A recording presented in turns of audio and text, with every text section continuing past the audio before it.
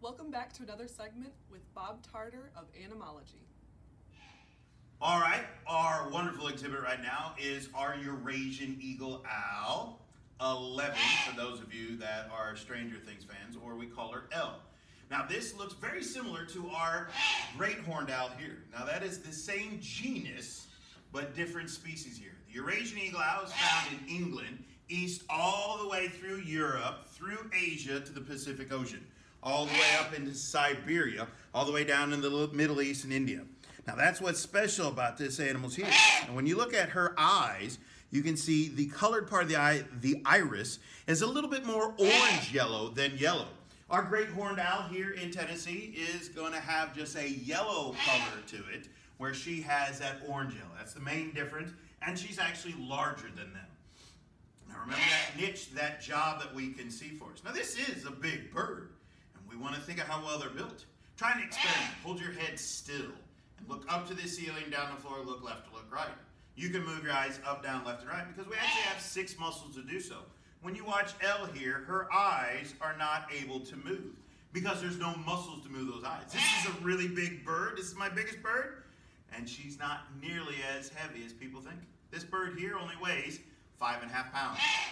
Birds, especially owls, are nothing but feathers. I'm not even touching skin yet. But for a five pound animal, you can see she has large eyeballs. They're bigger than mine. And what that's going to do is if you had owl-sized eyeballs, your eyeballs would be the size of dodgeballs. And if you had dodgeball-sized eyeballs in your head, you'd look a whole lot funnier. But what they're going to do is the muscles to move those eyes will cause that head to be too heavy. So the owl's eyes will never move. Instead, does an owl have a flexible neck? Yeah. Can an owl spin her head all the way around? No, it's physically impossible. Now, we have seven vertebrae in our neck, and depending on how flexible you are, you have a decent range of motion. She actually has 14, so she has a much larger range of view. Now, having big muscles means they're going to be more body weight. And for a flying animal, weight is your enemy.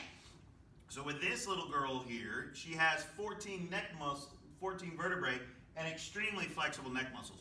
She can rotate her head 210 degrees. She cannot spin it all the way around. It's physically impossible. Now, owls have very good nocturnal vision. As well as you can see right now in your room is how well she can see in complete darkness with no starlight, no moonlight. But the owl's best sense is their sense of hearing. Now, these feathers here are just that, feathers. They make her look big and fierce. And on males, they'll even be bigger her ears are actually these little crescent shape here. Now every other feather on her body is flat. And that's going to give her that wonderful mimicry to blend into the background. These feathers that you can see around the eyes in those little crescent shapes, they look like frost or snowflakes. And what those are going to be is they can actually be articulated. Now, if you watch her, sometimes she moves her head up and down and does like a little dance. That's because owls have one ear hole high and one ear hole low right by that beak right there. And what that's going to do is that's going to turn her ears into like a satellite dish. And it can be tuned and focused to listen to a single spot. And with her eyes focused to a single spot, she can hear. She can hear a mouse breathe at over 400 yards.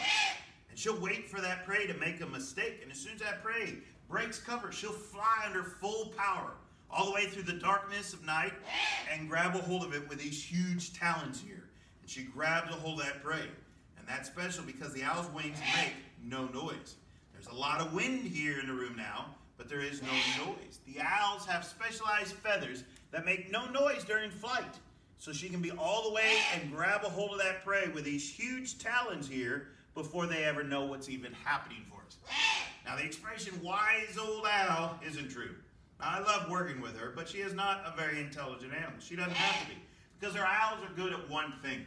And that one thing is killing. And these are extremely good killing. Most of your predators aren't going to be able to kill prey twice as large themselves.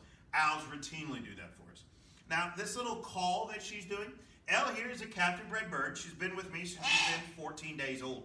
This call right here is basically a toddler talking to mom and dad going, hey, hey, hey, hey, hey. You're not that funny.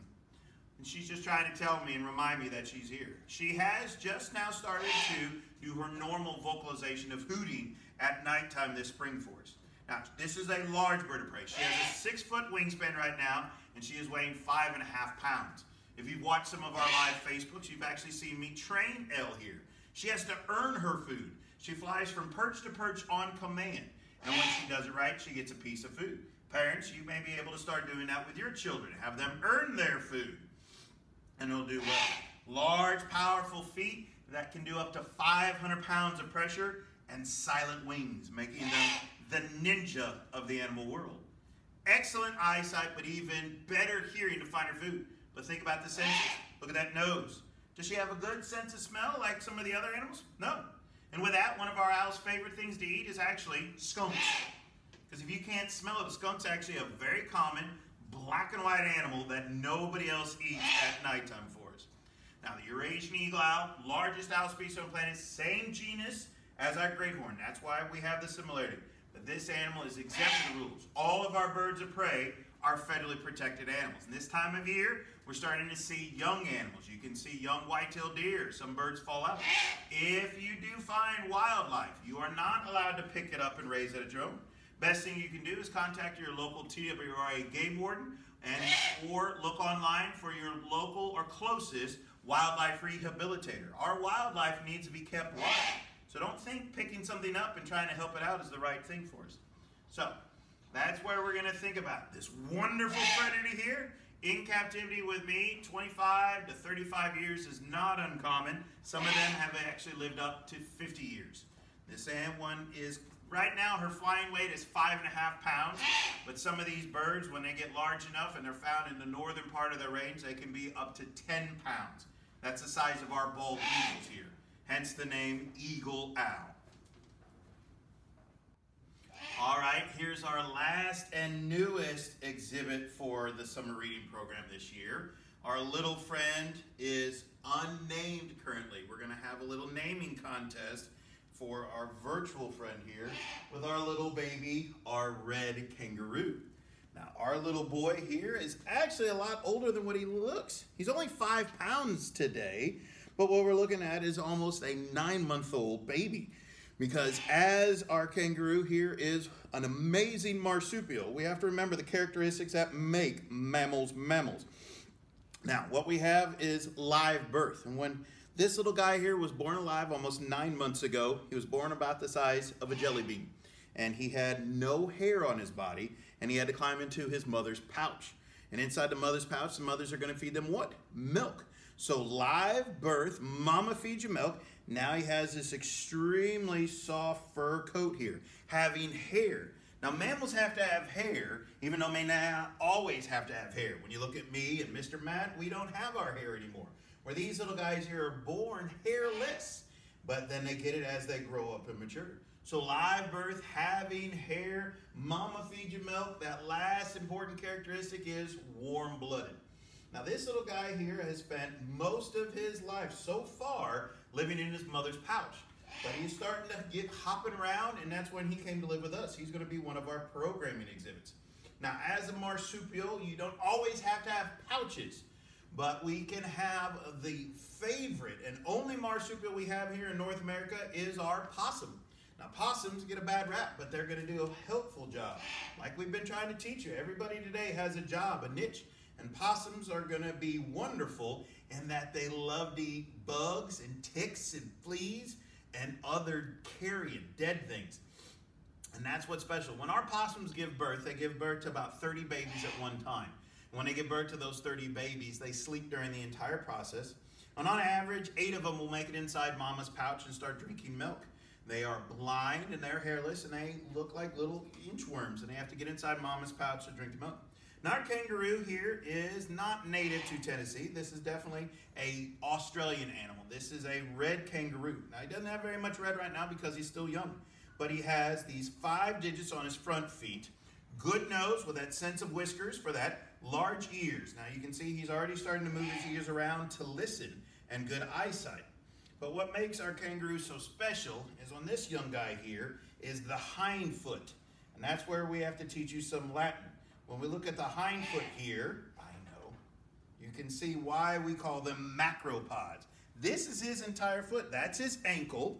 And this whole thing is his foot. There's one toe here on the outside. This big toe here is the second digit with three and four on the inside. And he has his long, powerful tail. Even though this guy's still young, he can still hold his body weight with this tail. And that's where they're going to hop using that for balance as well as a way to protect themselves. In the wild, our kangaroos are going to be found living in large groups, and it's called mobs. And that's where the large males will be bigger than me, standing six foot one, six foot four, 110 to 200 pounds. And they have massive upper body strength, and they will use that to protect their family, their group. They're able to take down large predators. In the wild, the main predator for our kangaroos is going to be the dingoes. These are the dogs and what they'll do. The wild dog, the kangaroo males will protect the young while the females will hop away and they will be able to actually grab a hold of a dog that's very heavy and drown it if they can find a body of water. The strong tail can be used almost as a weapon and knock things away for this. But these large toes here on this hind foot, that macropod, that large toenail there, can even disembowel you. And that's where they will be able to cut things open and eviscerate. Disembowelment is when they open up your stomach and your intestines spill out all over the floor. Evisceration is where they can slice the femoral artery and you bleed out. But when you look at this cute little boy right here, you can't imagine that happening. But these animals do have to protect themselves in the wild. Now, like Tennessee, they are a little problematic in their native land of Australia. Kangaroos have gotten very used to living with mankind in our urban and rural areas where those get together. Kangaroos can become very accustomed to being around mankind, like our white-tailed deer, and they have to have population controls for that. But as a marsupial, it is very difficult because they are very prolific at having young. So we have an amazing, strong, powerful, but a little baby still, of our red kangaroo. And if you continue to watch us on, on the company Facebook page, Animalogy, you'll be able to see our little boy here, and we'll start the naming contest to come up with the best name for him for us. Now, I hope you enjoyed our program today. Make sure you keep up with your Putnam County Public Library for their summer reading programs with the videos and posts that Miss Chelsea is going to do for us. If you have any questions, you can send messages to her. If we get enough good ones, we'll be able to do a, maybe a virtual party at the end of the summer reading program. So I hope you all enjoyed the program today. I appreciate you being able to tune in. Sorry I didn't get to see you in person. But parents, if you enjoyed what your public library is doing, continue to support them. They make it possible for me, for presenters like this, to come and visit you, even though it's not in real time, in real life, but you're still able to see the content for our program. I want you all to have a good day. Remember, to have a job like mine, you have to do well in school, and you have to have lots of knowledge. And the best way to get the knowledge is from your public library where they're reading. So parents, make sure you continue to support your public library as well as the sponsors that help your Putnam County Public Library. You all have a good day. Hopefully I'll be able to see you again soon in person, but if not, we'll see you again on a virtual platform. Thank you all very much. Bye-bye.